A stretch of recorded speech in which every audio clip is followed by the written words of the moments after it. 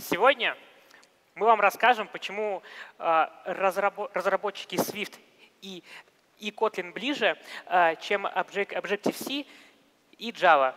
Э, и расскажем, почему уже пора перестать быть, быть верстальщиками и пора стать настоящими разработчиками. И перед тем, как в нас кидать, как в нас кидать помидоры, вы должны, вы, вы должны знать свою цель в лицо.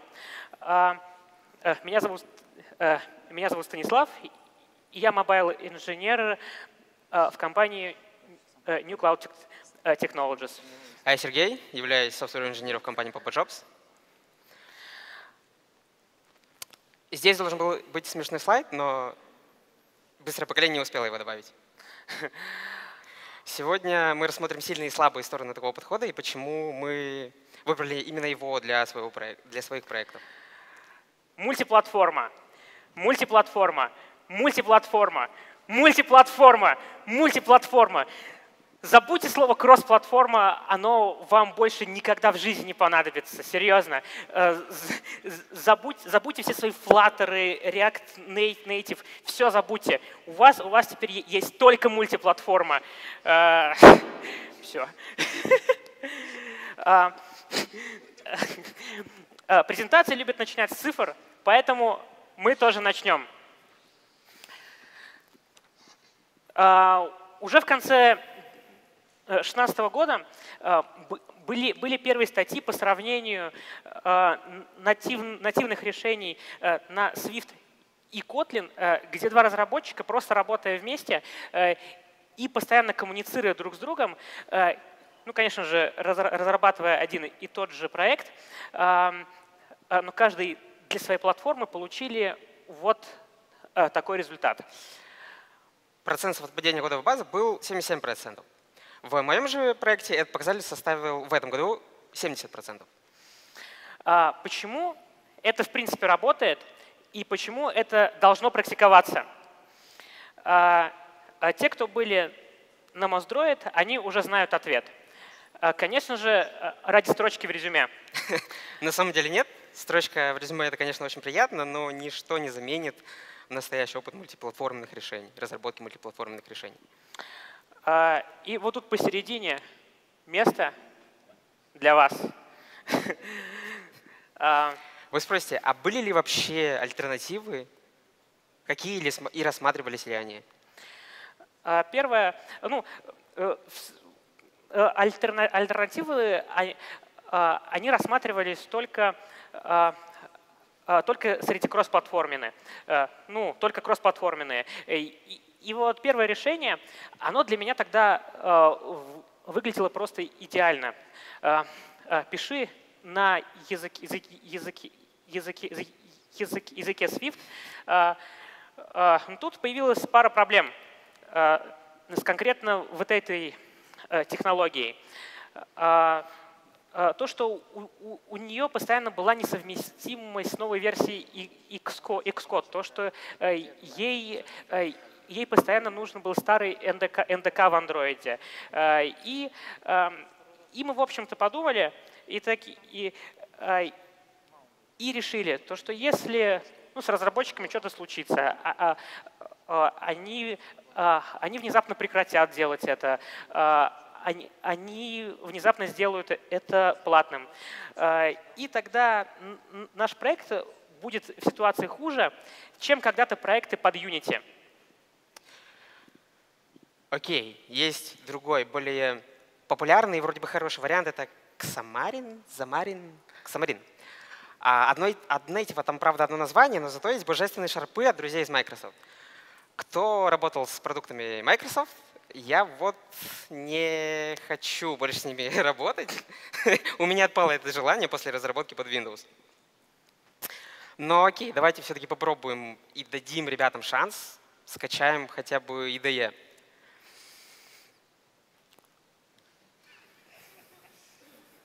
Но нет. Дважды я пытался скачать IDE, у меня этого не получилось. Сегодня у ребят установлены, установлены кривые редиректы, а завтра Самарис закроют? Ну, я надеюсь, нет. А, моя любимая тема — это React Native. Почему она, она любимая? Потому что его очень легко критиковать вообще. вообще. Потому, потому что чисто пройдясь по доке, вы, обнару, вы обнаружите уже вот такой скоп проблем. Первый и вот самое большое, то, что все по факту работ, работает в виртуальной машине. И, лад, и ладно бы в случае с iOS, JS, JS Core, он был, он был разработан в Apple, но в случае с Android это разработчики, это, это решение портировали разработчики Facebook на Android. О качестве догадываться можно потому, какое приложение делает ну, свое приложение Facebook. У них там 200 разработчиков, и они делают вот это. То есть также у них, у них абсолютно, абсолютно все это свои компоненты. То есть даже текст view они смогли э, закостылить. То есть мое уважение, уважение, уважение конечно, э, но, э, но из-за того, то, что они абсолютно, все закостылили, э, ни о каком accessibility, то есть э, э, речи, э, речь, речи в принципе идти, не может. Э, ну и, и остается открытым воп, воп, вопрос с роялти. То есть а, они в какой-то момент, ну, одни из первых заш, э, заш, зашли на рынок, а, и вот вроде бы уже почти, но потом что-то передумали. А, когда появился Flutter и вот эти вот все, все остальные э, ребята. А, на самом деле React Native до сих пор находится в альфе, там у них 0.59 версия, кажется, три дня назад э, выкатилась. Вот, и у них очень много все еще детских болячек. Например, такая как groundbreaking changes. Что это значит? Это значит, что фактически сейчас, э, примерно каждые две недели, э, разработчики Facebook переписывают э, React Native, и мы с вами как потребители должны э, каждые две недели переписывать React код практически с нуля. Весь э, свой проект практически с нуля. А также есть проблемы с main А у React Native есть UI-thread непосредственно а, ios и Android. А есть э, JS-thread, есть э, render-thread в случае с Android и то с пятой версии. Ну, он и нативно с пятой версии, и куча всего остального. Но в конечном итоге они все а, код а, выполняется на UI-thread. И я, например, не смогу сходить в сеть на андроиде, потому что система выдаст исключение. В случае с iOS я это, в принципе, сделать могу. А, я даже могу подключить, допустим, Alamo Fire в случае с iOS. В случае с Android мне придется подключить, например, Retrofit. Но опять-таки, а, я могу подключить стороннюю библиотеку, но мне для нее нужно писать а, в wrapper, то есть. Э, И те, кто любит писать код, обратите внимание, React Native для вас. вы, вы будете писать очень много кода. А, кроме сторонних API, есть также проблема с интеграционной, например, SiriKit в случае с э, iOS и Google Assistant в случае с Android. Или, например, Auto, Google, Android Auto и CarPlay в случае с iOS. Я также не могу использовать э, эти зависимости просто потому, что мне нужно будет написать bridge.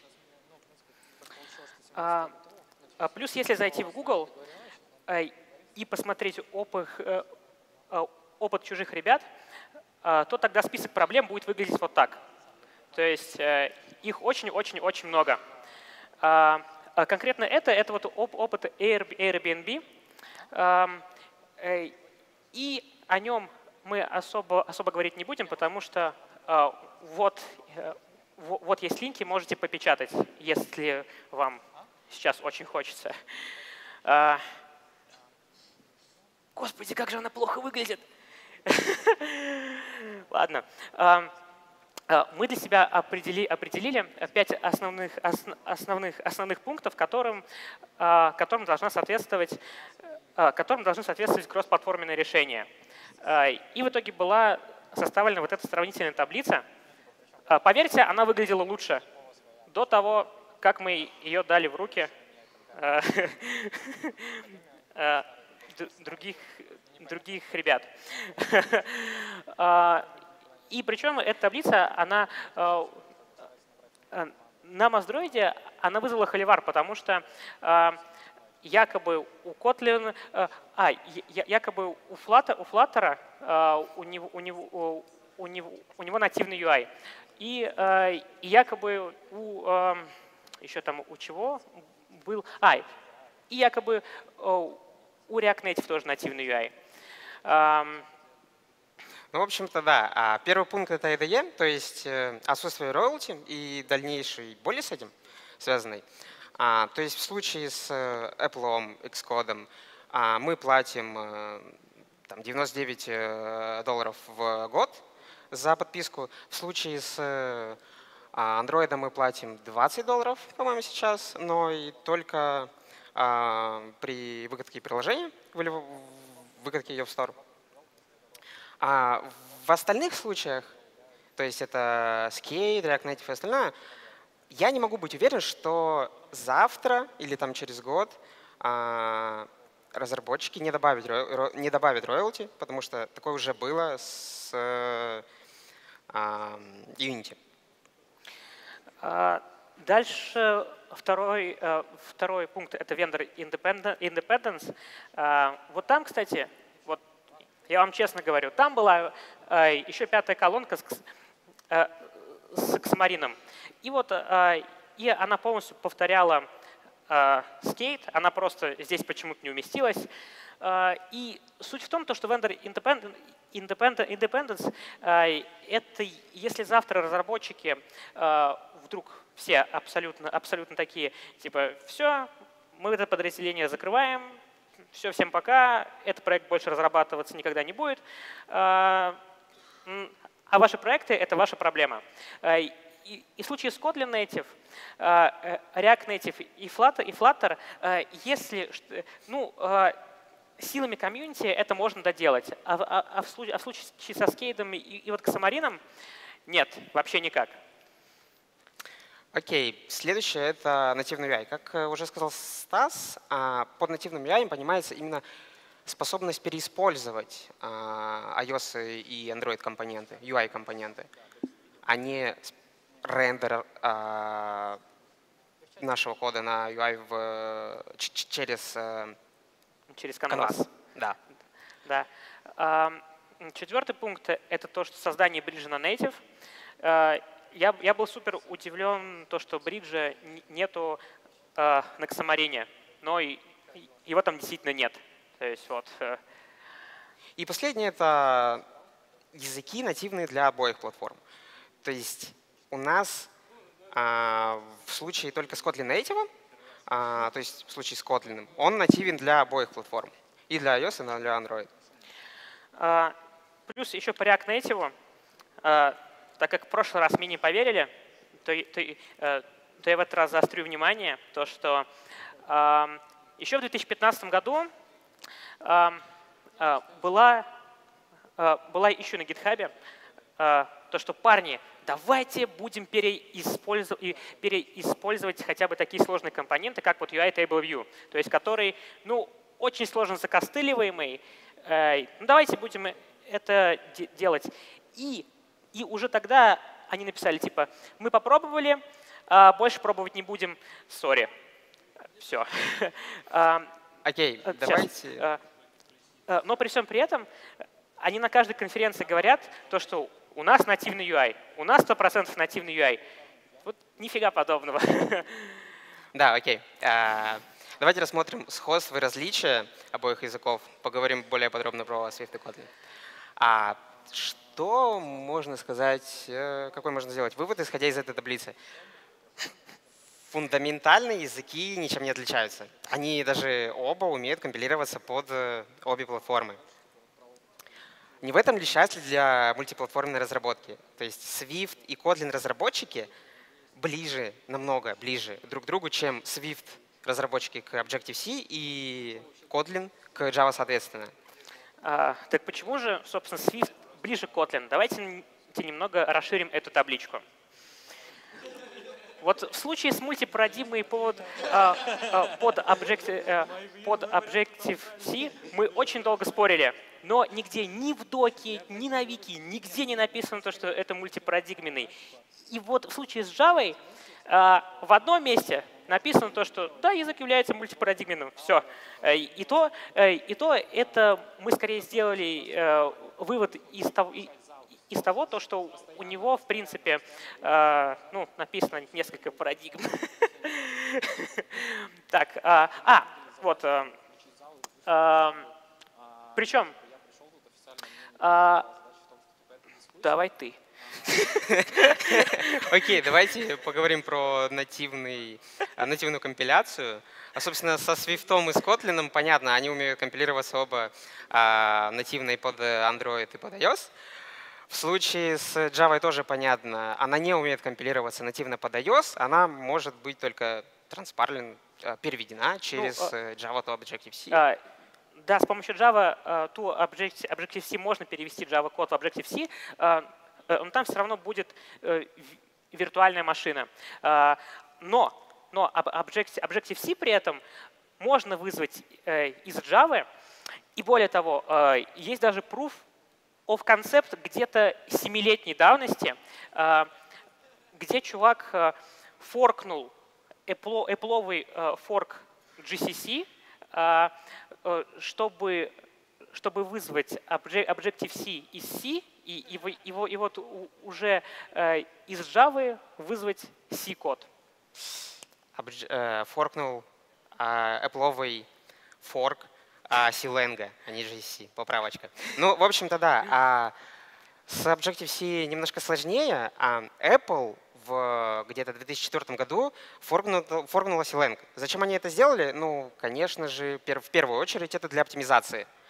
А более того, они добавили индексацию, они добавили lazy, lazy, lazy, lazy выполнение, они добавили а, кучу всего, кучу, кучу, кучу такой синтетики, например, даже кодген они добавили. Вот.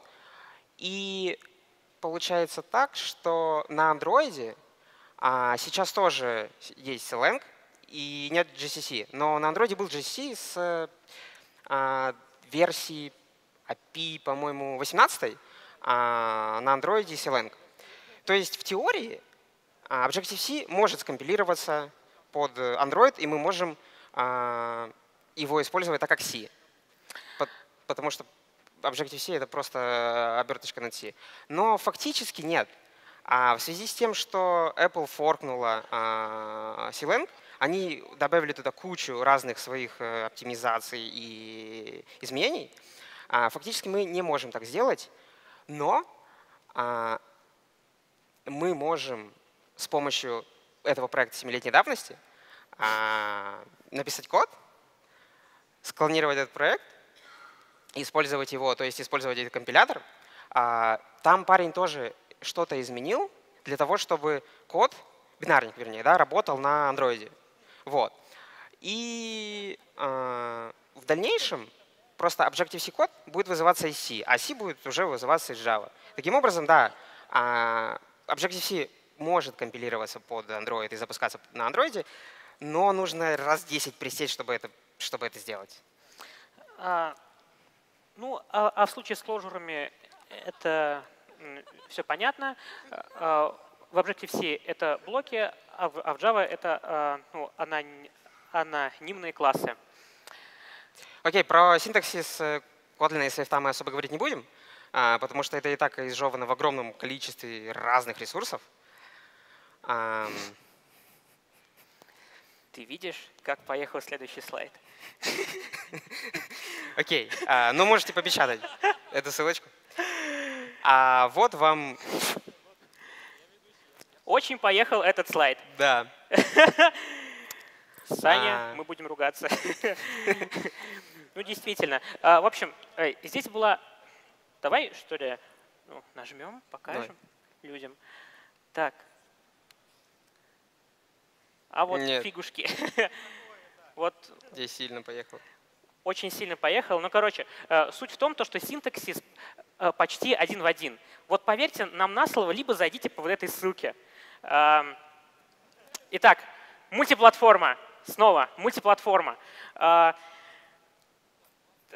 Kotlin и Swift настолько похожи, то, что они даже, возможно, делали компилятор, возможно, с оглядкой друг на друга. Поговорим об, об архитектуре компилятора там и там.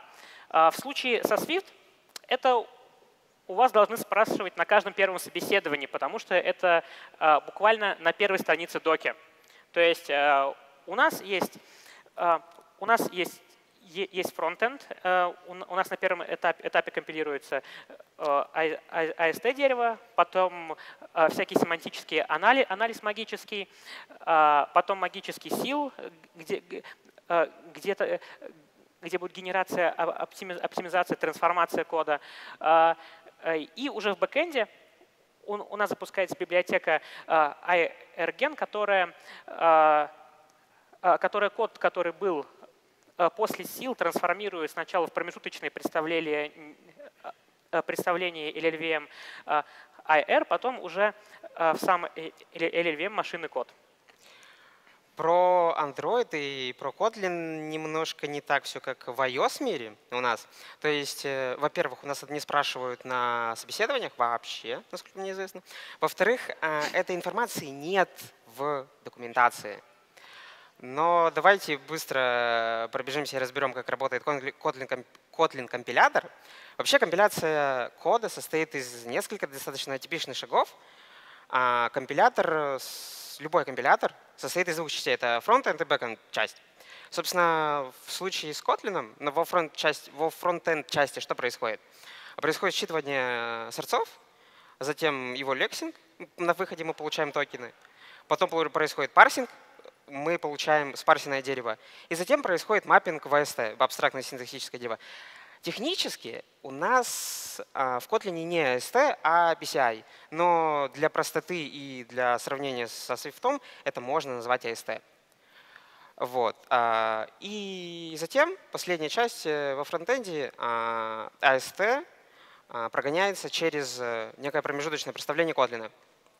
То есть фронтенд часть, по сути, это PCI, это резолвы, это диагностики, вывод типов. В общем, все то,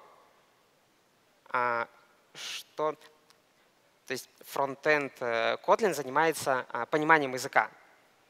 А бэкенд часть э, состоит из следующего. А Kotlin, промежуточное представление Kotlin передается кастомному ASM, и на выходе мы уже получаем класс-файлы. А ASM — это фреймворк для модификации байткода. Он много где используется на самом деле. Там в OpenJDK он используется, в Gradle он используется, в компиляторах э, Kotlin и Groovy он используется, и много еще где в больших проектах, в больших а, компаниях. Вот, то есть э, backend часть это что? Это по сути то же самое, что у Swift, это генерация кода, его трансформация, оптимизация. То есть если сравнить компиляторы обоих языков, то становится очевидно, что они создавались именно для мультиплатформенной разработки. Возможно. Возможно. А, мультиплатформа. Снова, а, давай, давайте поговорим а, о лайфсайкле конкретно, конкретно по платформам iOS и Android. И Android. Вот в Google в Google картинках встречаются всего две картинки разной степени шакальности. Вот это первая вот эта версия получше. И поэтому э, нам пришлось сделать самим. Я вижу, следующий слайд снова уехал. Боже мой. А, а, вот до, до iOS 13 оно выглядело вот так. То есть, по сути, lifecycle один, один и тот же. И в случае iOS 13 я я вот следующий позорный слайд показывать не буду, потому что он весь уехал. Но, а, но в случае с iOS 13 у нас завезли сцены. А, ну, вместе со Swift UI. И они работают, они работают еще ближе, к, еще ближе к к фрагментам на вот Android. То есть вот, этот вот, э, вот, вот это единственное различие сверху, которое э, типа у нас load view и view, э, и, view did load, оно превращается вот, вот в одно. то, и, то есть если совсем по-простому, то вот можно зайти, можно зайти в току по Swift UI и, и вы увидите, и вы увидите, увидите то, что lifecycle э, изменил, изменился в сторону андроидовских фрагментов. Окей. Okay. А, давайте посмотрим, где же наши 77% совпадения кодовой базы на обоих языках. Вот вам вторая картинка, кстати, из серии «Найди 10 отличий». Ну, первая поехала, вы ее не видели. а, в общем, в чем здесь разница? А, по сути, только в семантике, только в ключевых словах. Протокол в Swift, интерфейс в Kotlin. Да, окей. А, в Swift нам еще нужно указать getter и setter. А что касаемо энамов, то в принципе энамы на Swift работают примерно так же, как энамы на, на, в Kotlin.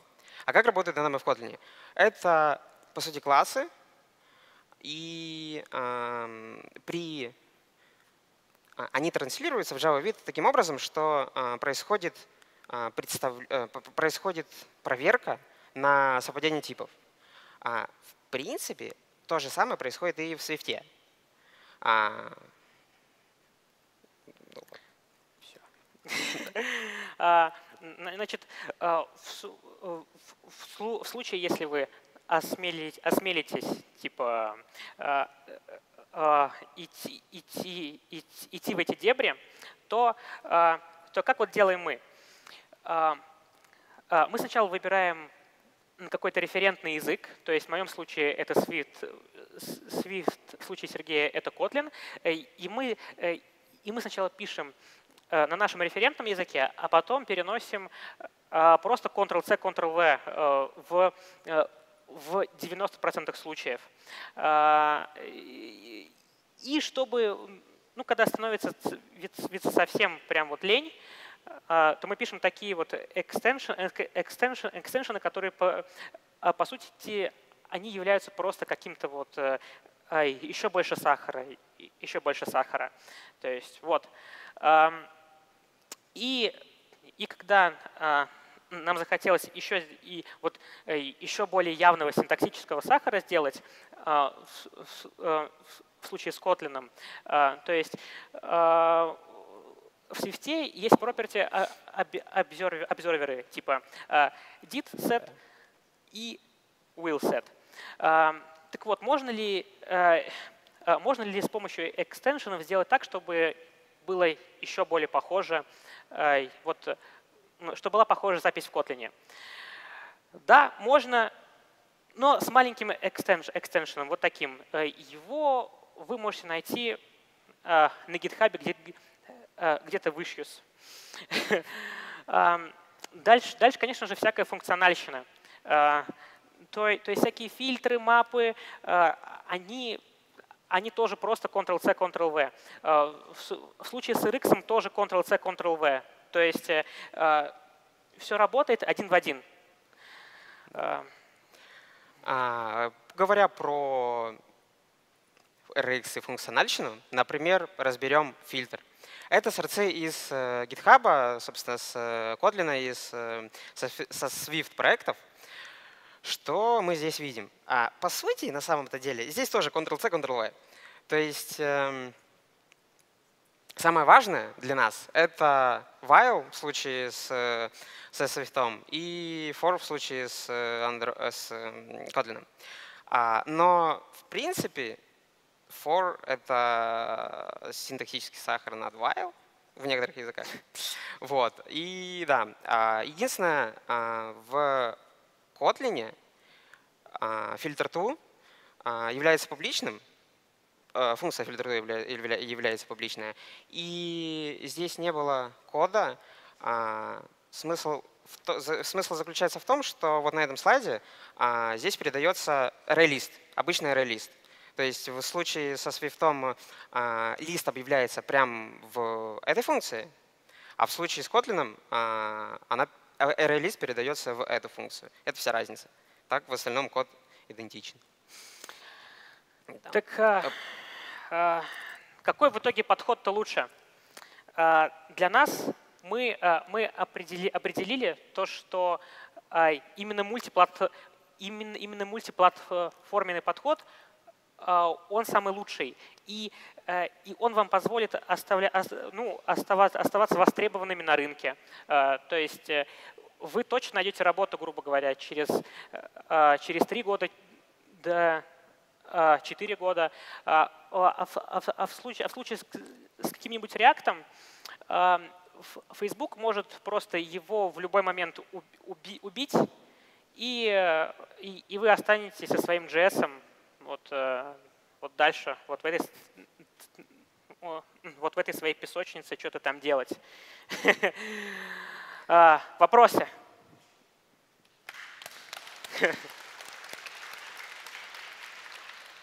Спасибо за доклад. Слышно, не слышно, не слышно.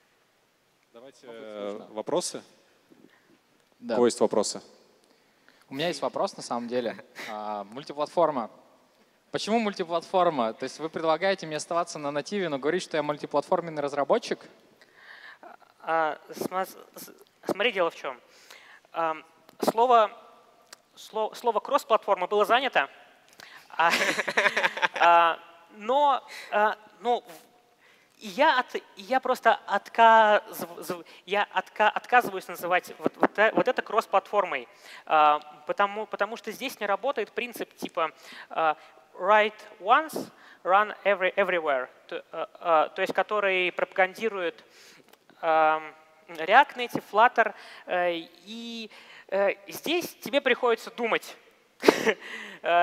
И здесь тебе приходится учить, учить платформу. А, и, и поэтому мы придумали вот такое типа классное слово мультиплатформа. Вот. Я ответил на твой вопрос. Да, это на самом деле очень хитро, ну, в том плане, я понял твою идею, но э, идея заключается в следующем, что типа учить платформу, то есть ты остаешься платформенным разработчиком, но да. говоришь, что это мультиплатформ. Окей, спасибо. Я просто заметил, что это отличается от доклада, который был на Droid Hate, о том, что там был Kotlin Native. Да. Ой, мой дроид. Дроид. Блин, я уже путаюсь в названиях очень много. Вот. И а, вот вы ничего не сказали про Kotlin Native а, Ну, э, если хочешь послушать про Kotlin Native, найди запись. Вот когда Саня выложит.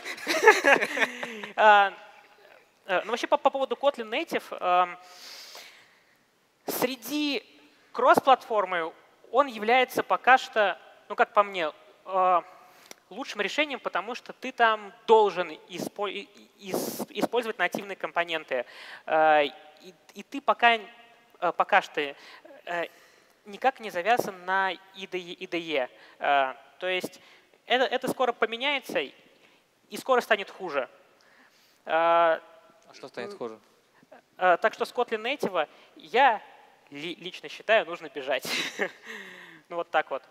То есть нужно писать два раза код, и тот, тот код похоже просто? Ну, э, да, это пока что вот э, самый, самый лучший э, подход. Ты, блин, мой лид, алло. Что за вопросы вообще? Такой типа, ну... Это безопасный подход просто. А, суть такого подхода в том, а, что, а, что нужно объединять команды iOS, Android. Android. Они должны работать вместе. И вообще суть этого, этого доклада, а, чтобы вы как разработчики а, донесли до своих а, там, лидов, продуктов и еще кого-нибудь, что надо, что надо жить вместе, что надо работать вместе, что, что вы, как вот специалист, будете развиваться, что ваш продукт он будет, он будет расти, то, что разработка будет намного быстрее, потому что э, вы, по сути, пишете один код, ну, с маленькими изменениями, которые чисто э, синтаксические в 90% случаев. А можно еще, да? А как это организовать? Просто я не понимаю. Э, ну, как бы, раз, раз, разработчики просто будут, будут спорить же, они же разные, типа ты Android, ты iOS. А, нужен просто нормальный лид.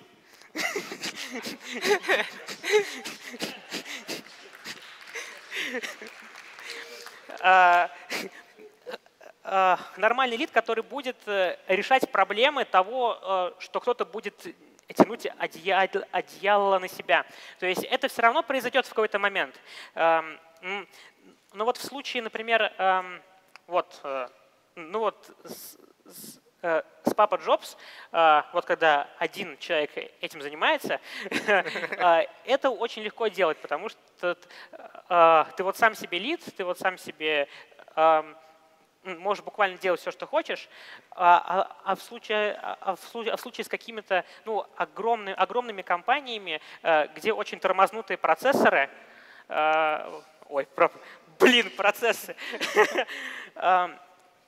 Нужно идти, договариваться, объяснять, почему это будет дешевле, почему это будет лучше для всех, почему это вин-вин ситуация и для Android-разработчиков, и для iOS-разработчиков, э, да. и для бизнеса. То есть это вин-вин ситуация для всех в принципе. Можно тогда последний вопрос? Или там еще будет, да? Последний вопрос тогда.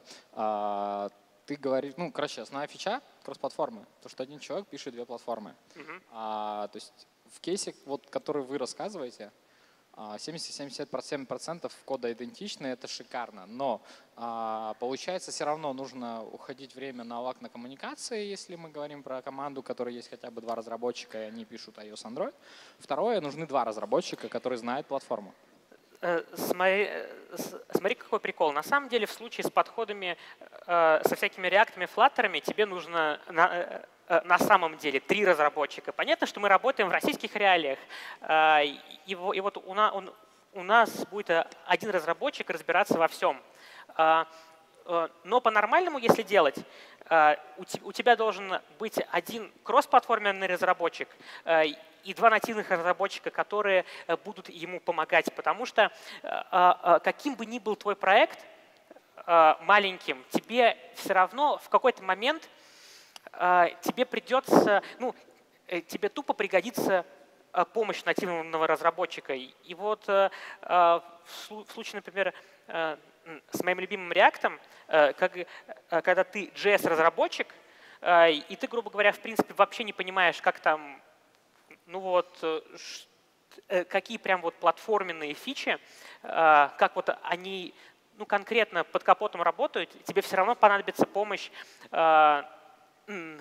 нативного разработчика, который тебе скажет, да, чувак, здесь все просто, делаешь вот так, вот так, все. Вот. Окей, okay, спасибо.